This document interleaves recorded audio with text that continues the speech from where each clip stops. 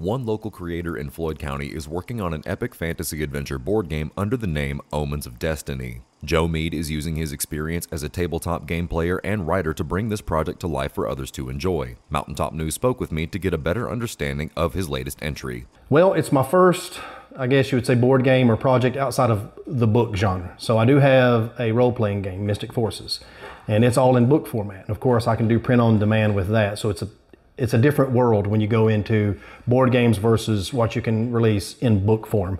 So it is my second full product, if you will. Mystic Forces, my RPG is the first, but all of those are in book format. This is my first delve into anything outside of just books. So my first board game for sure. Yeah. And definitely a strong role playing element in it for sure. But this is for the people that, by and large, are a little more invested, like games that take a little longer, on average three hours for a session of this, um, that do like to be able to advance their characters and, and, really work toward the right strategies of you know gear composition as well as the right character composition to be able to work together because you do have to work as a team. And if you don't use the right strategies it's, it's real easy to lose. Hillbilly havoc weekend of destruction demolition derbies are coming to pikeville friday saturday march 29th and 30th 7 each night appalachian wireless arena pikeville. It's going to be a crashing good time. Be there Mead says he is inspired by many works of fantasy as well as other similar board games. For those who wish to support the game's fall release, check out the project on Kickstarter.com. Robert Jordan's The Wheel of Time series was a huge inspiration.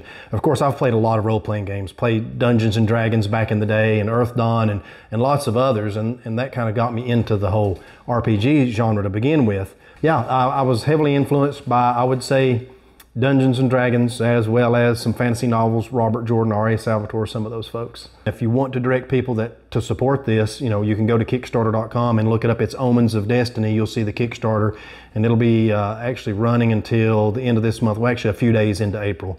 Um, so it's got some time left on it. Give you plenty of opportunity to get in there and make a pledge. Multiple reward tiers, most of which do include discounted copies of the game. Be cheaper than what it'll be once it hits uh, shelves and retailers. So you can get discounted copies of the game and some extra perks as well, multiple reward tiers to choose from.